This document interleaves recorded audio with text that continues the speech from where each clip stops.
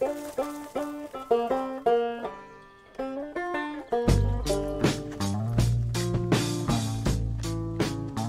là, au bas, là, tu remontes directement de ce côté-là?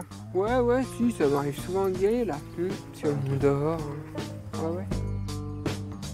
Voilà quelques années déjà que Xavier Thévenard a livré son terrain de jeu et d'entraînement au grand public. Autour du Mont d'Or, un espace qui porte son nom, balisé, créé sur des sentiers existants. C'est un peu comme les pistes de ski de fond, il y a circuit vert, bleu, rouge, noir, etc. et pour que tout le monde puisse prendre goût et puis tout le monde puisse le pratiquer, pratiquer la course à pied à son niveau, c'est important. Il y a quand même des, des zones sensibles qui sont protégées avec une faune et une flore qui est, euh, qui est fragile. Donc de mettre des circuits, ça, ça permet de- aux gens qui restent dessus et pas se disperser de partout dans, dans la forêt. Quoi. Les parcours débutent au cœur de la station, à l'exception du plus court, celui de 7 km, où le rendez-vous est au sommet du Moron, accessible en télésiège.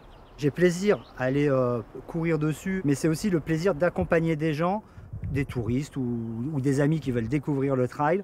Je les accompagne un petit, un petit bout de chemin et eux, en toute sécurité, ils peuvent finir leur boucle sans souci, euh, suivant leur niveau. Le paysage est tellement joli que le chrono euh, est aléatoire. Moi, personnellement, euh, je préfère y aller tranquille et profiter du paysage.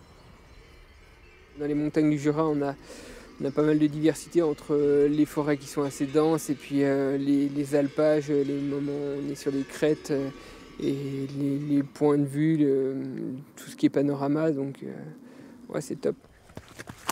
Courir en pleine nature en toute sécurité, les deux atouts de tels parcours qui cet été seront enrichis de totems, avec philosophie de la discipline, conseils de nutrition ou de récupération sur ces sentiers de moyenne montagne.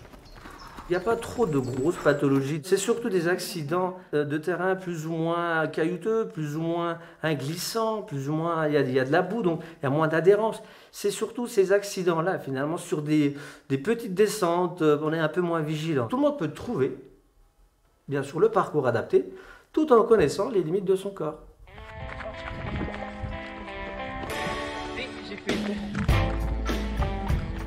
Le trail, une discipline en plein essor. Plus de 800 000 pratiquants en France, 15% du marché de la course à pied.